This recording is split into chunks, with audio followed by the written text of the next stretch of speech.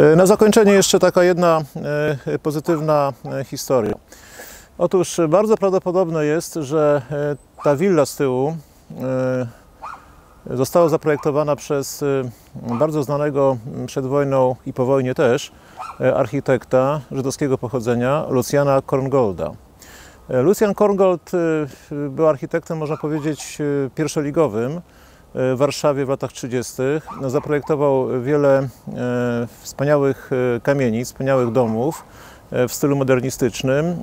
Takie domy Luciana Korngolda stoją do dzisiaj w Warszawie przy Marszałkowskiej 18, przy Koszykowej 10, e, przy Chocimskiej i wielu różnych innych miejscach. Są to domy bardzo porządnie wykonane, z solidnych materiałów, które są niewątpliwie ozdobą warszawskich ulic do dzisiaj.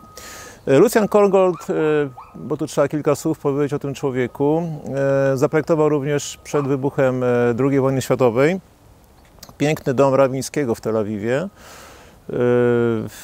W latach II wojny światowej był żołnierzem. W kampanii wrześniowej był żołnierzem Wojska Polskiego, został wcielony do polskiej armii i przedostał się wraz z żołnierzami do Rumunii. E, Tam nawiązał kontakt e, z biurem architektonicznym e, pewnego Węgra.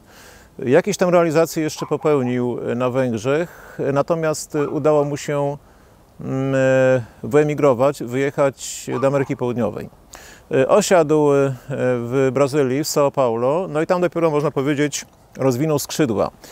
Cała ta twórczość e, warszawska e, Korngolda to była tylko e, uwerturą do jego późniejszej twórczości brazylijskiej. Tam rzeczywiście stał się architektem sławnym, można powiedzieć, o, ze światowej ligi. Zaprojektował w São Paulo wiele wspaniałych budynków mieszkalnych, wiele pięknych biurowców.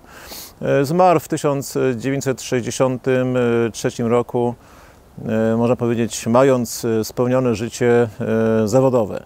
E, To jest chyba ta optymistyczna, mm, e, optymistyczny wątek e, z historii Kozłówki, Kwietniówki, przepraszam, bo z Kwietniówki, jak widać, niewiele pozostało, natomiast spuścizna Luciana Korngolda jest znacząca, bogata, twórcza i co ciekawe, Korngold właśnie najprawdopodobniej jest projektantem tej willi tutaj e, z tyłu za plecami, a również może innych domów, e, które kiedyś stały na e, Kwietniówce.